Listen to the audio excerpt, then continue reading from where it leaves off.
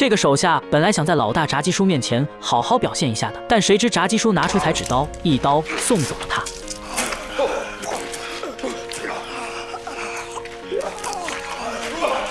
为啥炸鸡叔要杀死自己的手下呢？这还要从几个小时前说起。炸鸡叔已经让老麦克杀了老白，但是老白为了自保，让小粉抢先一步灭了本来要取代自己的盖尔。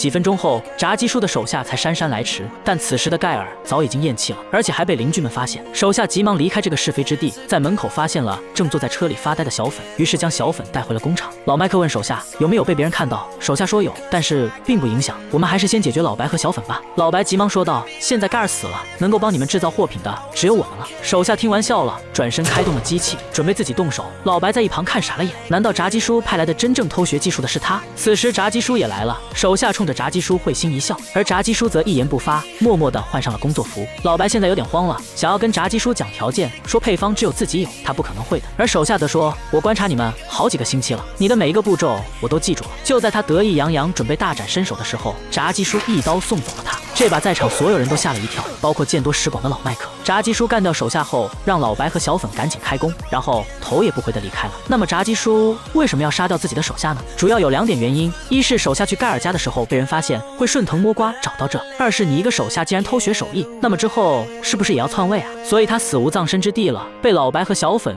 用强酸溶解掉了，连根毛都不剩。与此同时，警察已经来到了盖尔家，他们在搜家的时候发现了一本化学实验记录本，其他的就啥也没发现了。在发生了这一切之后，老白觉得自己处境危险，于是买了一把手枪，准备先下手为强，干掉炸鸡叔。而小粉则完全相反，杀了人的他内心压力非常大，找来了很多朋友在家里聚会，以此来释放内心的恐惧。就这么嗨了一夜。第二天，小粉起床去上班，扔给了朋友们一大堆钱，让他们继续嗨，不要停。老白揣着手枪来到了工厂，他发现炸鸡叔又派了一个新的手下来监督他们，而且还得知炸鸡叔以后都不会再见老白了。既然你不见我，那么我就主动找你吧。于是拿着枪出现在炸鸡叔家门口。刚到房子前时，老麦克给他打来了电话，让他赶紧回家。老白明白自己被监视了，吓得他赶紧收手。之后，老白和老麦克在酒吧里相见。老白问老麦克，当时手下被炸鸡叔杀害的时候，你害不害怕？保不准下一个就是你呢。我们一起联手干掉炸鸡叔如何？谁知却被老麦克拒绝，而且还把老白暴揍了一顿。第二天，老白接着来上班，但是却发现工厂里已经装上了摄像头。老白明白炸鸡叔是彻底不相信自己了。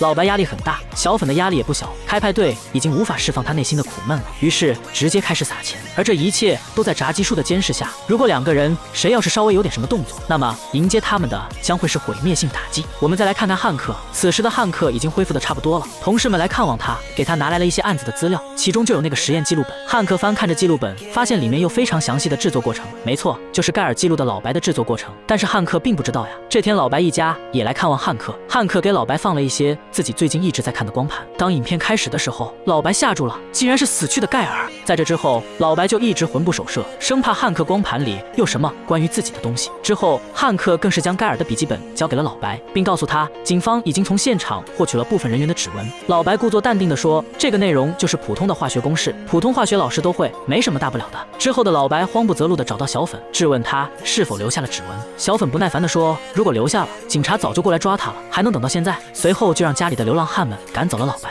而赶走老白后，这帮流浪汉们就盯上了小粉的钱，趁着小粉上班的时候将钱偷走。但是小粉依旧不在意，钱嘛还可以再挣的。但是老麦克则抓住了这几个偷钱的小混混，随后将事情告诉了炸鸡叔，表示他再这样下去一定会给大家添麻烦的。炸鸡叔也觉得是这样的，必须得想办法解决。于是第二天上班的时候，小粉就没来上班。老白气冲冲的跑到小粉家，但是也没有找到人，而且手机也没带。老白又跑回了实验室，冲着摄像头问炸鸡叔，小粉是不是被他带走了？但是并没有回复。气得老白直接拿着枪来到了炸鸡叔的店里，想要亲自问问他。此时老麦克又打来了电话，告诉老白小粉跟着自己办事呢，让他赶紧回去，并让小粉跟老白通了会电话，表示自己并没有危险。那么老麦克要带他干嘛呢？他们来到了荒漠，老麦克下车挖出了一袋子钱，然后继续上路，接着又来到了一处废旧工厂，又拿了一袋子钱，就这样走走停停，走走停停，钱越来越多。其实这些都是给炸鸡叔的货品钱。一路上小粉一直叽叽喳喳说个不停，老麦克终于忍不住了，对小粉说：“说实话，我也不知道为什么要带着你，这是炸鸡叔的命令。”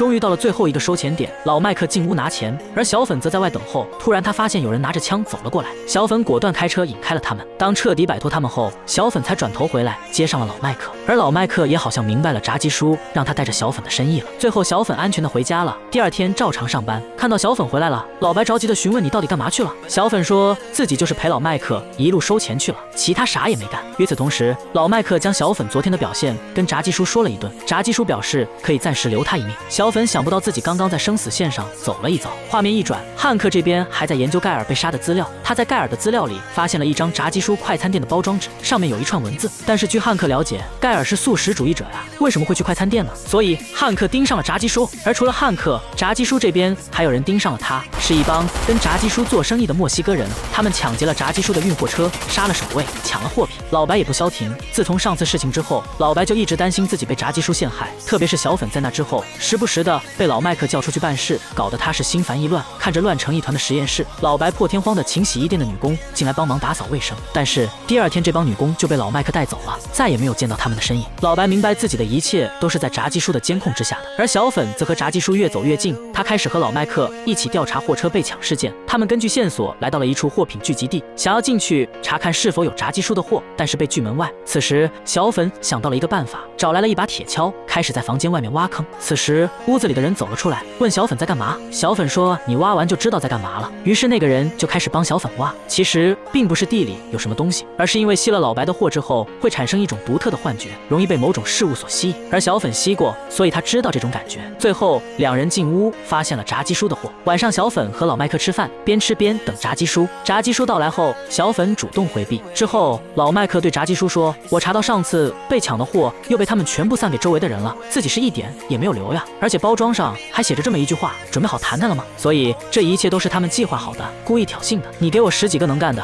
我让他们滚回墨西哥去。”炸鸡叔说：“暂时不要冲动，他们不是要谈一谈吗？那我们就谈一谈。”在炸鸡叔临走时，小粉问炸鸡叔为什么要选自己去收钱。炸鸡叔说：“我相信自己的眼光。”当然，炸鸡叔还有深层次的考虑。那么他到底想干嘛呢？小粉的作用是啥呢？那帮墨西哥人会有什么下场呢？关注郭说，下集我们接着说。